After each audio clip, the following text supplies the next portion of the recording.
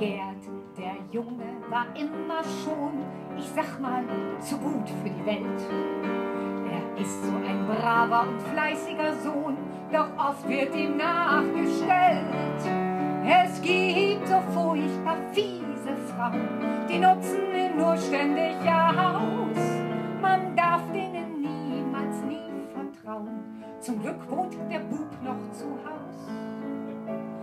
Drum prüfe ich jede an, die er sich bindet und forsche nach jedem Detail und frage sie stündlich, wann sie denn verschwindet und helfe ihr schließlich dabei.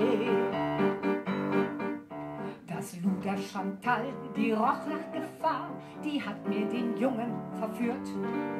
Er zählte doch gerade mal 30 Jahre und hatte noch gar nichts kapiert.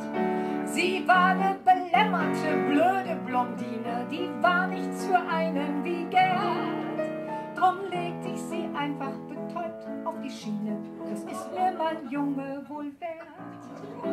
Sie konnte nicht spüren, sie schlief tief und fest, ich bin ja durchaus human. Der Schnellzug von Düren, der gab ihr den Rest, ja, ich liebe die Deutsche Bahn.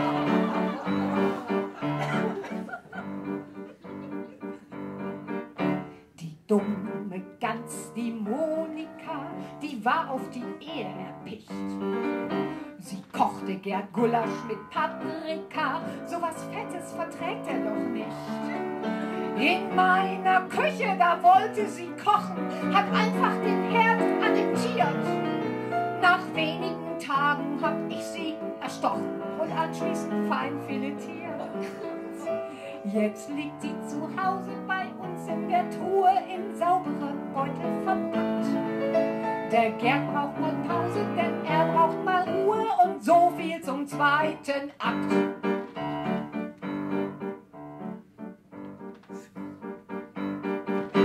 Jetzt ist er wieder verliebt, der Gerd, er sprach mich heute drauf an.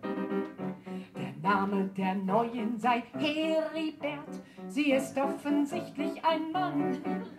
Ich bin von der Sache noch etwas benommen, doch lass ich die Fragerei.